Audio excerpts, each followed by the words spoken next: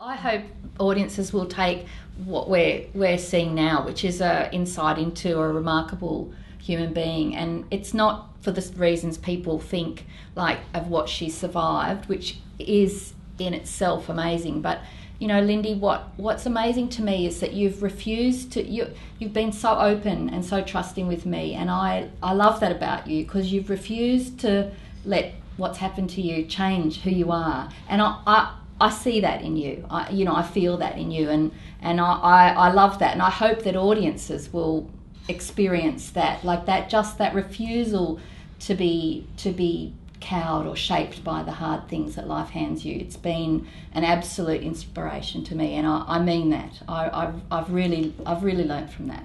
Well, you see, if I'd thought you were a shady person or had an ulterior motive or something like that, I wouldn't work with you in the first place. I think when you meet someone, you can go, well, I do anyway, very rarely get it wrong when I look at someone and know whether they're genuine or whether they are pretending to be genuine but they have their own agenda. You you have this little bit, you know, well I'll cooperate but I'll stand at arm's length, and I'm lucky enough to have somebody that I don't have to do that with.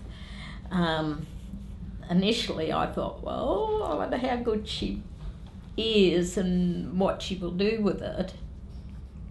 But as I saw the letters come through to say, can I use this one? Can I use this one? Are these okay? I thought, well, I have no idea how she's going to put them together, but what she's picking, um, she can't go too far wrong.